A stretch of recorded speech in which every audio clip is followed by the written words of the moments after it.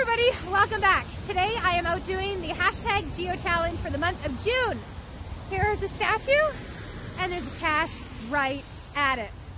I really had to finagle this guy out.